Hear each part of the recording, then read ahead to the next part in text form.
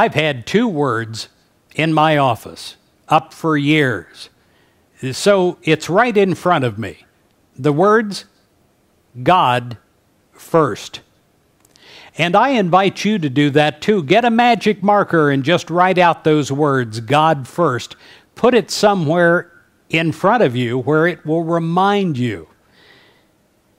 Worshiping God begins by recognizing who God is, God's attributes, and how God expresses the divine in God's works. In Matthew 6:33 it says steep your life in God reality, God initiative, God provisions, and don't worry about missing out. You'll find all your everyday human concerns will be met. One of the quickest and the surest ways to improve your day and your life is to make God your active partner. When you put God first in every aspect of your life, you're going to be comforted in the knowledge that God's wisdom is the ultimate wisdom and that God's plans are the right plans for you.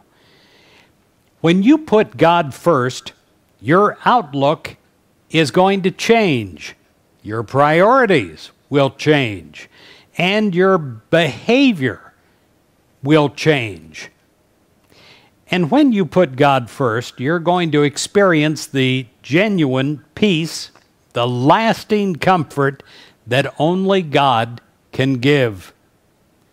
In Exodus 20, verse 3, the Bible instructs us to place no gods before the God.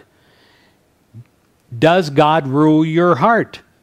Make certain that the honest answer to this question is a resounding yes.